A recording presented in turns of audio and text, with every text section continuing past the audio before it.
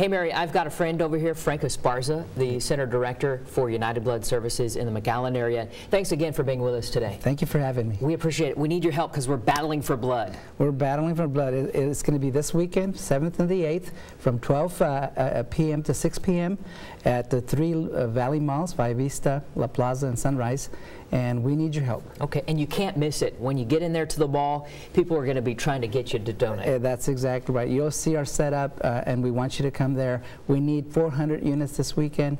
And just to mention that this is a National uh, Blood Donor Month, and it was made that way because it's the hardest month of the year for blood collections. We're trying to uh, increase our, our, our, our volume in, in January because of December. Okay, and again, so much is needed. Where will this blood be going?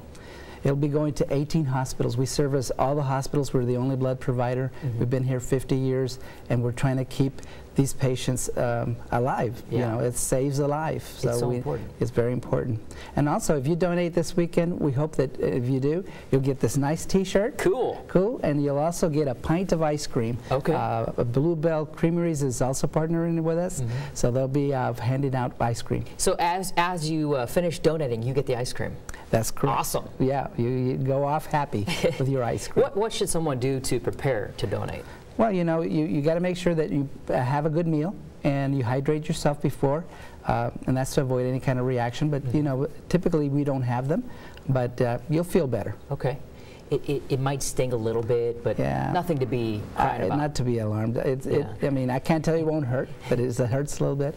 But uh, it's, it, it's, it's the gift that you, you're giving the gift of life. Right. And it's after Christmas, but give one more gift and save another uh, life. It's so crucial because so- some people, certain blood types especially, they're having a hard time getting those donations, right? Exactly. You know, we, we need all blood types, Mm-hmm. but O negative. I, again, I want to mention that we need that O negative blood Mm-hmm. uh, to, to to have at all these uh, trauma hospitals. It's an important one because it works for everybody. It works for everybody. Okay.